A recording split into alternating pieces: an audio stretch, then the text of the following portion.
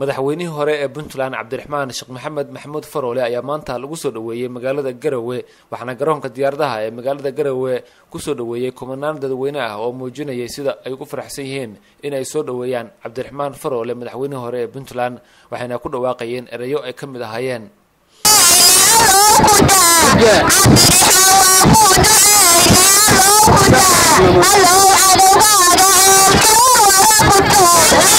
madaxweynihii hore ee puntland cabdiraxmaan sheekh maxamed maxamuud faroole ayaa dadweynaha kula hadlay fagaaraha ku yaalla bartamaha magaalada garowe isagoo xusay in safarkiisa uu ku saabsan yahay tacsi la xidhiirta dhimashada xaaskiisii allahu naxariistee aamine abiib cilmi oo sanadkan gudihiisa lagu dilay magaalada garowe oo aad igu soo dhowayseen haddaad tihiin shacbi weynihiin reer puntland.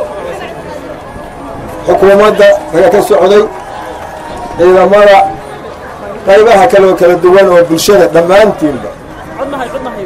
Ma aan fogay. Waad og tihiin waxaa dhacay shil weyn oo naxdin labaa qoyskayga ku dhacay.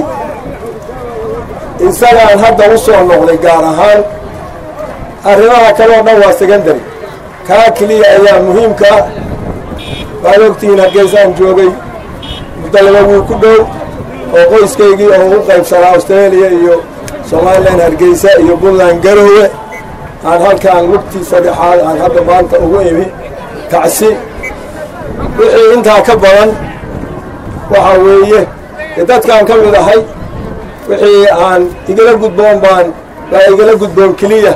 Laakiin arrinta muhiimaddaahi oo aan u imi meesha intaa weeye waa inooga mahad celinayaa dadweynaha mar labaad iyo xukuumaddaba gaar ahaan xukuumaddu waxaan uga mahad celinayaa tacsidii qaran oo ii sameeyeen xaaskaygii markay dhimatay. Waan aad uga mahad celinaya waana is arki doonnaa haddii aan laydno wixii aan qabo oo fikriyana waan sheegi doonaa haddaan gaar ahaan isu aragno laakiin cidna maaragtay anugu kuma ahi culays. Haddaan cidi culays ana iga dhigan.